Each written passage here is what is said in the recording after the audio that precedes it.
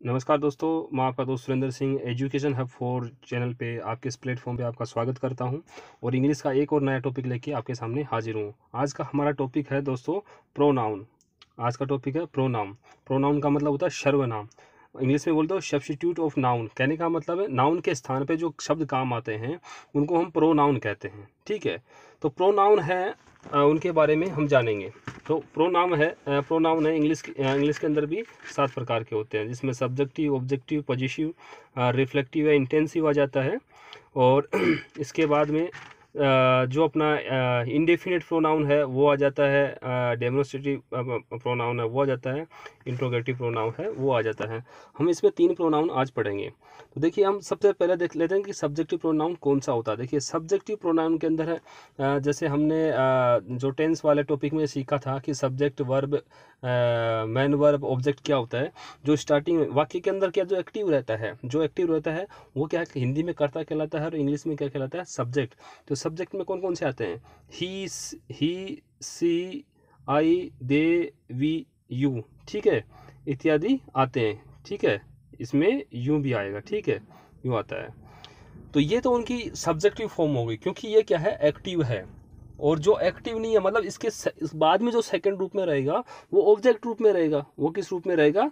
वो ऑब्जेक्ट रूप में रहेगा। तो देखिए ऑब्जेक्टिव में कौन कौन कौन से आते हैं? देखिए, ऐसे देखिए, अगर ही का, क्या बनाएँगे? ही का क्या बनेगा? हिम बनेगा। सी का क्या बनेगा? सी का हर बनेगा, आई का मी बनेगा, यू का यू का, यू बनेगा और दे का, देम बनेगा, वी का, अस बनेगा। ये क्या इनका? ये इनका ऑब्जेक्टिव प्रोनाउन है, ऑब्जेक्टिव प्रोनाउन फॉर्म है इनकी, ठीक है? जो ये सब्जेक्ट है, ऐसे मान लीजिए इनका अगर हम क्या करें, जैसे हमारी फ़र्स्ट, सेकंड, थर्ड तीन फॉर्म होती है, उनमें डिवाइड, हम इनको डिवाइड करते हैं, रूप इनका इनका जो रूप होता है उनका, उसको एक्सटेंड करते हैं तो ये फॉर्म्स हमारे सामने निकल के आती हैं, ठीक है? इनके, देखिए, इनके बाद में हम जो नेक्स्ट पढ़ने वाले हैं, वो है पजेसिव पजेसिव प्रोनाउन दोस्तों, ये चीज़ें, ये दो चीज़ें बहुत कॉमन हैं। ये हर कोई जानता है कि, ठीक है ही सी आई यू वी दे जो भी subject subjective forms subjective pronoun होते हैं, इनके जो objective him her me you they us होते हैं। लेकिन पॉजिटिव प्रोनाउन को देखिए, यहाँ पे मैंने कैटेगराइज किया, इनको दो भागों में मैंने डिवाइड किया है। लेकिन देखिए, इसमें his her my your their their our होते हैं। एक हिज होता है हर्ष होता है माइन होता है योवर्स योवर्स होगा देयर देयर्स होगा आवर्स होगा। तो इनको इसमें, इनमें एस और लग जाएगा। ठीक है दोस्तों? तो इनको हम कहाँ यूज़ लें? कहाँ यूज़ लें? आज इन सब्जेक्टिव प्रोनाउन, ऑब्जेक्टिव प्रोनाउन और अपना पॉजिटिव प्रोनाउन, इन पे ही हम फोकस करेंगे। देखिए, नेक्स्ट में एक हम एग्ज़ाम्पल के साथ लेते हैं। हम एग्ज़ाम्पल के साथ में इसको समझते हैं कि सब्जेक्टिव प्रोनाउन क्या होता है? ऑब्जेक्टिव प्रोनाउन क्या होता है? देखिए, इसमें एक हिंदी वाक्य है, रेखा आपके साथ है। तो इसका इंग्लिश ट्रांसलेट करते हैं। लेकिन इंग्लिश ट्रांसलेशन करने से पहले हम ये देखते हैं सब्जेक्ट कौन सा है और उसके बाद में ऑब्जेक्टिव फॉर्म कौन सी बची देखिए, इसमें रेखा रेखा वर्ड है, वो ऑब्जेक्ट वो ऑब्जेक्ट नहीं है। वो क्या है? यहाँ क्रियाशील है। तो इसलिए क्या होगा? वो ये सब्जेक्ट होगा। और बाकी जो बच गया, वो क्या है? वो ऑब्जेक्टिव पार्ट हो जाएगा अपना। क्या हो जाएगा? ऑब्जेक्टिव पार्ट हो जाएगा। ठीक है? तो इस इसमें देखिए, रेखा तो रेखा होगा Rekha is with you Rekha is with you तो देखिए, इसमें जो यू फॉर्म थी तो यू का क्या होता है? यू, यो, योवर और यू। ये इनकी फॉर्म होती है। ये सब्जेक्टिव हो गया, ये पजेसिव हो गया, यह सब्जेक्टिव हो गया, ये पजेसिव हो गया और ये हो गई ऑब्जेक्टिव फॉर्म। तो ये ऑब्जेक्टिव फॉर्म यहाँ पे आ गई है।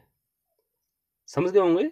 एक बार फिर से समझाता हूँ कि रेखा आपके साथ है, रेखा इज़ विद यू तो रेखा क्या है इसमें? सब्जेक्ट फॉर्म है, बाकी अदर्स क्या है? ये ऑब्जेक्टिव फॉर्म में है। ऑब्जेक्टिव फॉर्म में, क्योंकि रेखा इसमें क्या है? करता है सब्जेक्ट है। और सब्जेक्ट के बाद में जो बचा है, वो देखिए, इसमें हमें इस पर फोकस करना है। तो ये ये कौन सी फॉर्म है? ये सब्जेक्टिव फॉर्म तो रहेगी नहीं इस ये अगर हम देखें कि भाई सब्जेक्टिव फॉर्म क्यों नहीं हो सकती तो आप देखिए क्या ये क्रियाशील है? क्या स्टेटमेंट में ये एक्टिव है? नहीं एक्टिव नहीं है। एक्टिव है रेखा। तो रेखा इज़ द सब्जेक्ट और जो बाकी बचा वो क्या हो गया? ऑब्जेक्टिव फॉर्म के अंदर आ गया। तो देखिए, यहाँ ऑब्जेक्ट आपके, इसमें देखिए, हिंदी वाक्य में देखिए, जो आपका वर्ड है उस पर फोकस कीजिए। तो इसमें देखिए, हम, इसकी ऑब्जेक्टिव फॉर्म कैसे आएगी? आप, आपका मतलब क्या यू होता है। तो इसका, यू का ऑब्जेक्टिव फॉर्म क्या होता है?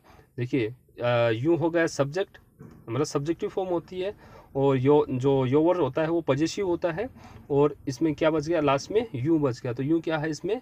ऑब्जेक्टिव फॉर्म होती है।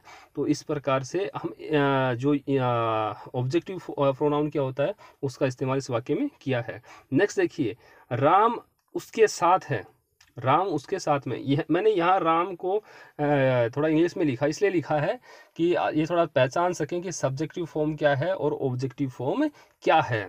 तो राम उसके साथ है। Ram is the subject sorry यहाँ मैंने रेखा लिखा, या राम आएगा। Ram is with him Ram is उसके साथ है। उसके मतलब क्या है? अगर सी और सी हमें किसमें देखना सी में और ही में ही में हमें देखना है, कौन किसके साथ है। तो यहाँ पे कौन है? यहाँ पे क्या है? ही ही आएगा सी आएगा। तो यहाँ पे देखिए जो ही है, उसका फॉर्म हमें देखना पड़ेगा। ही हिज और हिम ठीक है? ये तीन हो गए। ही हो गया सब्जेक्टिव और हिज है हिज हो गया पजेसिव और हिम हो गया ऑब्जेक्टिव तो हमें कौन सी फॉर्म लेके आनी थी? ऑब्जेक्टिव तो ऑब्जेक्टिव आ गई। तो मतलब ऑब्जेक्टिव फॉर्म का प्रयोग ऐसे होता है। नेक्स्ट चैप्टर देखते हैं। इसमें देखिए, इसमें हमने लिया है जो आई है आई है, उसका यूज़ लिया। देखिए, बहुत सबसे इंपॉर्टेंट है, मैं आपको ये चीज़ दिखाऊँगा कि इसमें माई का प्रयोग करते हैं, माई सेल्फ का, माइन का, इनका प्रयोग कहाँ करते हैं, किस तरह से किया जाता है? आप एक बार एग्ज़ाम्पल देखिए। यह मेरी पुस्तक है, यह मेरी पुस्तक है। दिस इज़ माई बुक देखिए, ये माई है, ये भी अधिकार को बताता है, अपने राइट्स को बताता है, और ये माइन है माई का मतलब मेरा माई का मतलब मेरा होता है मेरा या मेरी माइन का मतलब मेरा या मेरी होता है। लेकिन डिफरेंस क्या है? देखिए ये ये अधिकार को बताता है और ये संपूर्ण अधिकार को बताता है कि कंप्लीट राइट है मेरा। ये स, क्या है? ये कंप्लीट राइट को बताता है और ये है राइट को बताता है। देखिए वाक्य से हम समझ समझते हैं जो एग्ज़ाम्पल दिया उससे हम इसको समझते हैं। यह मेरी पुस्तक है दिस इज़ माई बुक देखिए, यहाँ दिस का संबंध मतलब यह सब्जेक्ट है, इसका संबंध किससे है? किससे है? बुक से है। किससे है? बुक से मतलब ये बोल रहा है दिस का अधिकार किस पे इस बुक पे है। इस बुक पे है। ये केवल क्या बता रहा है? यहाँ पे राइट बता रहा है। केवल अधिकार बता रहा है। अब नेक्स्ट वाले में देखिए, हम सेकंड जो स्टेटमेंट है, उसमें उसमें देखते हैं। ये देखिए, यह पुस्तक मेरी है। देखिए, ये जो, अब ध्यान दीजिए, वाक्य सेम सा लग रहा है, लेकिन सेम नहीं है। देखिए, यहाँ पुस्तक जो शब्द है, ये यहाँ ऑब्जेक्टिव फॉर्म में आया है। किसमें आया है? ऑब्जेक्टिव फॉर्म में आया। लेकिन यहाँ ये के साथ में, ये के साथ में पुस्तक, ये के साथ में पुस्तक आया। मतलब ये ये और पुस्तक, ये पुस्तक किसमें है? ये सब्जेक्टिव फॉर्म में है। किसमें है? सब्जेक्टिव फॉर्म में है, दोस्तों। इस बात पे ध्यान देना। फ़र्स्ट वाले में ऑब्जेक्टिव फॉर्म में थी, सेकंड वाले में यह सब्जेक्टिव फॉर्म में है। इसलिए क्या this book is mine this book is mine ये मे, ये पुस्तक मेरी है, ये पुस्तक मेरी है। कहने का मतलब सीधा उसने पुस्तक पे जो भी फॉर्म जो जो भी सब्जेक्टिव फॉर्म आती है, जिस चीज़ पे, ऐसे मान लीजिए जिस चीज़ पे अधिकार बता रहा है, वो चीज़ सब्जेक्ट के तुरंत बाद आती है। सब्जेक्ट के तुरंत बाद आती है। तो आपको आ, क्या प्रयोग करना पड़ेगा? आपको देखिए क्या प्रयोग करना पड़ेगा मैं दिखाता हूँ आपको।